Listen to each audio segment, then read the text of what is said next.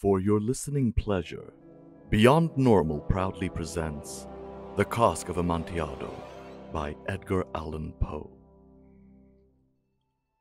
The thousand injuries of Fortunato I had borne as best I could, but when he ventured upon insult, I vowed revenge. You who so well know the nature of my soul will not suppose, however, that I gave utterance to a threat. At length I would be avenged. This was a point definitively settled, but the very definitiveness with which it was resolved precluded the idea of risk. I must not only punish, but punish with impunity. A wrong is undressed when retribution overtakes its redresser. It is equally undressed when the avenger fails to make himself felt as such to him who has done the wrong. It must be understood that neither by word nor deed had I given Fortunato cause to doubt my good will. I continued, as was my wont, to smile in his face, and he did not perceive that my smile now was at the thought of his immolation. He had a weak point, this Fortunato. Although in other regards he was a man to be respected and even feared, he prided himself on his connoisseurship in wine. Few Italians have the true virtuoso spirit. For the most part, their enthusiasm is adopted to suit the time and opportunity to practice imposture upon the British and Austrian millionaires. In painting and gemmary, Fortunato, like his countrymen, was a quack. But in the matter of old wines, he was sincere. In this respect, I did not differ from him materially. I was skilful in the Italian vintage myself, and bought largely whenever I could. It was about dusk, one evening during the supreme madness of the carnival season, that I encountered my friend. He accosted me with excessive warmth, for he had been drinking much. The man wore motley, he had on a tight fitting party striped dress, and his head was surmounted by a conical cap with bells. I was so pleased to see him that I thought I should never have done wringing his hand. I said to him, My dear Fortunato, you are luckily met. How remarkably well you are looking today. But I have received a pipe of what passes for Amontillado, and I have my doubts. How? said he. Amontillado? A pipe? Impossible. And in the middle of Carnival? I have my doubts, I replied, and I was silly enough to pay the full Amontillado price without consulting you on the matter. You were not to be found, and I was fearful of losing a bargain. Amontillado? I have my doubts. Amontillado. And I must satisfy them. Amontillado. As you are engaged, I am on my way to Luchesi. If anyone has a critical turn, it is he. He will tell me. Luchesi cannot tell Amontillado from Sherry. And yet some fools would have it that his taste is a match for your own. Come, let us go. Whither? To your vaults. Oh, my friend, no. I will not impose upon you your good nature. I perceive you have an engagement. Luchesi, I have no engagement. Come. My friend, no, it is not the engagement, but, but the severe cold with which I perceive you are afflicted. The vaults are insufferably damp. They are encrusted with nitre. Let us go, nevertheless. The cold is merely nothing. Amontillado, you have been imposed upon. And as for Luchesi, he cannot distinguish sherry from Amontillado. Thus speaking, Fortunato possessed himself of my arm, putting on a mask of black silk and drawing a roquelaire closely about my person. I suffered him to hurry me to my palazzo, there were no attendants at home. They had absconded to make merry in honor of the time. I told them that I should not return until the morning, and had given them explicit orders not to stir from the house. These orders were sufficient, I well knew, to ensure their immediate disappearance, one and all, as soon as my back was turned. I took from their sconces two flambeaux, and giving one to Fortunato, bowed him through several suites of rooms to the archway that led into the vaults. I passed down a long and winding staircase, requesting him to be cautious as he followed. We came at length to the foot of the descent, and stood together on the damp ground of the catacombs of the Montresors. The gait of my friend was unsteady, and the bells upon his cap jingled as he strode. The pipe, said he. It is further on, said I, but observe the white webwork which gleams from these cavern walls. He turned towards me and looked into my eyes with two filmy orbs that distilled the rheum of intoxication. Nitre? he asked at length. Nitre, I replied. How long have you had that cough? My poor friend found it impossible to reply for many minutes. It is nothing, he said at last. Come, I said with decision, we will go back. Your health is precious. You are rich, respected, admired, beloved. You are happy as once I was. You are a man to be missed. For me, it is no matter. We will go back. You will be ill, and I cannot be responsible. Besides, there is Luchesi. Enough, he said. The cough is a mere nothing. It will not kill me. I shall not die of a cough. True, true, I replied. And indeed, I had no intention of alarming you unnecessarily. But you should use all proper caution. A draught of this Medoc will defend us from the damps. Here I knocked off the neck of a bottle, which I drew from a long row of its fellows that lay upon the mould. Drink, I said, presenting him with the wine. He raised it to his lips with a leer. He paused and nodded to me familiarly, while his bells jingled. I drink, he said, to the buried that repose around us. And I to your long life. He again took my arm, and we proceeded. These vaults, he said, are extensive. The Montresors, I replied, were a great and numerous family. I forget your arms. A huge human foot d'or in a field of azure. The foot crushes a serpent rampant whose fangs are embedded in the heel. And the motto? Nemo me impune lacessit. Good, he said. The wine sparkled in his eyes and the bells jingled. My own fancy grew warm with the Medoc. We had passed through the walls of piled bones, with casks and puncheons intermingling, into the inmost recesses of the catacombs. I paused again, and this time I made bold to seize Fortunato by an arm above the elbow. The nitre, I said. See, it increases. It hangs like moss upon the vaults. We are below the river's bed. The drops of moisture trickle among the bones. Come, we will go back ere it is too late. Your cough. it is nothing, he said. Let us go on. But first, another draught of the Medoc.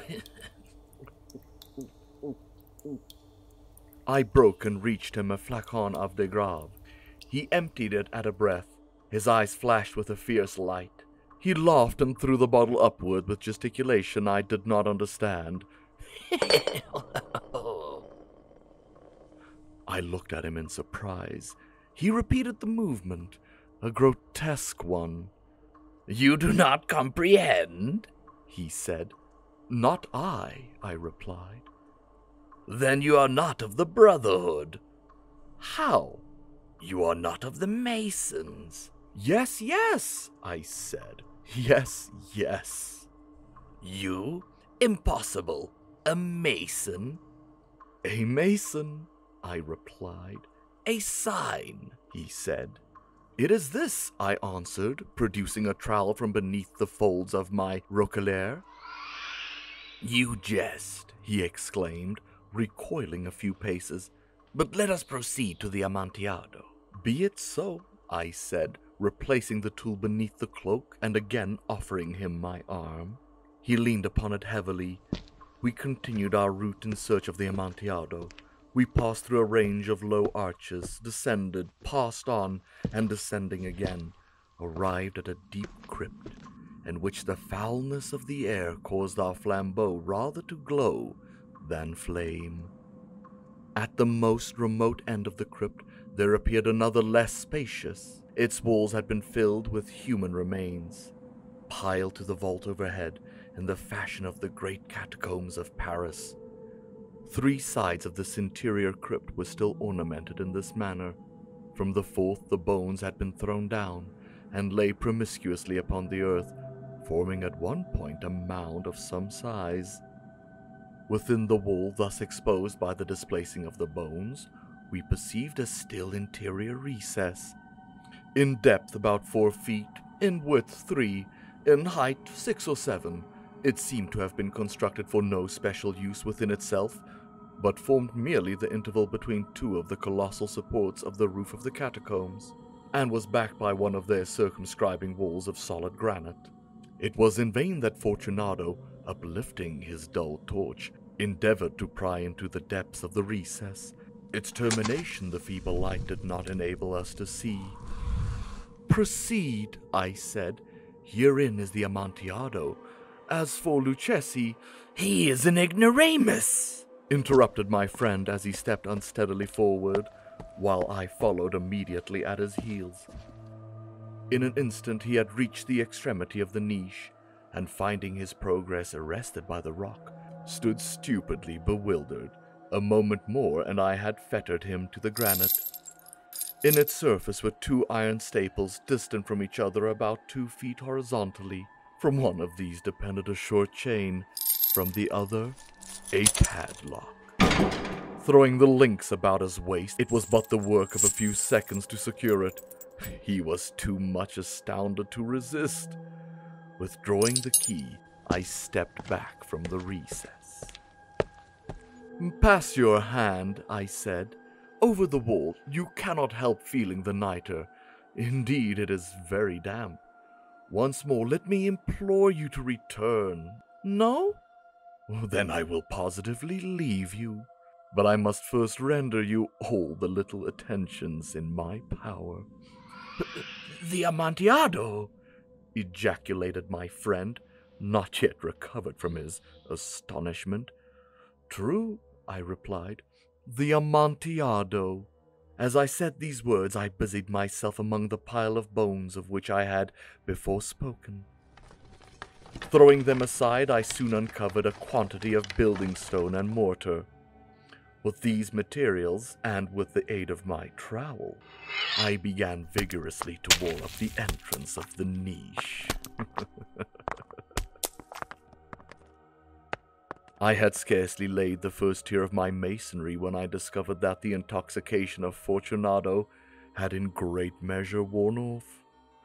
The earliest indication I had of this was a low moaning cry from the depth of the recess. It was not the cry of a drunken man. There was then a long and obstinate silence. I laid the second tier and the third, and the fourth. And then I heard the furious vibrations of the chain. Oh. The noise lasted for several minutes, during which, that I might hearken to it with the more satisfaction, I ceased my labors and sat down upon the bones. When at last the clanking subsided, I resumed the trowel and finished without interruption the fifth, the sixth, and the seventh tier. The wall was now nearly upon a level with my breast. I again paused, and holding the flambeau over the mason work, threw a few feeble rays upon the figure within. A succession of loud and shrill screams bursting suddenly from the throat of the chained form seemed to thrust me violently back. Oh, oh, oh, yeah. For a brief moment I hesitated. I trembled. Unsheathing my rapier, I began to grope with it about the recess. But the thought of an instant reassured me. I placed my hand upon the solid fabric of the catacomb and felt satisfied. I reapproached the wall. I replied to the yells of him who clamored. I re echoed. I aided. I surpassed then in volume and in strength. I did this, and the clamorer grew still. It was now midnight, and my task was drawing to a close. I had completed the eighth, the ninth, and the tenth tier. I had finished a portion of the last and the eleventh. There remained but a single stone to be fitted and plastered in. I struggled with its weight. I placed it partially in its destined position. But now there came from the niche a low laugh that erected the hairs upon my head.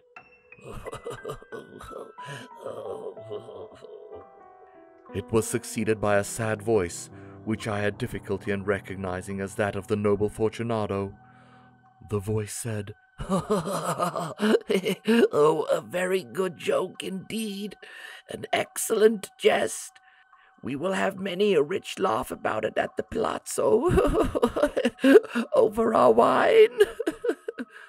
The Amontillado, I said. yes, the Amontillado. But is it not getting late? Will not they be waiting for us at the palazzo? The Lady Fortunato and the rest. Let us be gone. Yes, I said. Let us be gone. For the love of God, Montresor. Yes, I said. For the love of God. But to these words I hearkened in vain for a reply. I grew impatient. I called aloud, Fortunato! No answer. I called again, Fortunato! No answer still. I thrust a torch through the remaining aperture to let it fall within. There came forth in return only a jingling of the bells. My heart grew sick on account of the dampness of the catacombs. I hastened to make an end of my labor.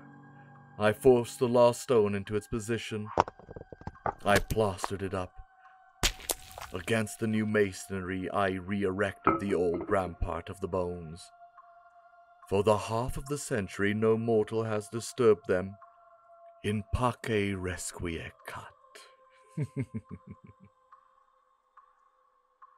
That was The Cask of Amontillado by Edgar Allan Poe, 1846.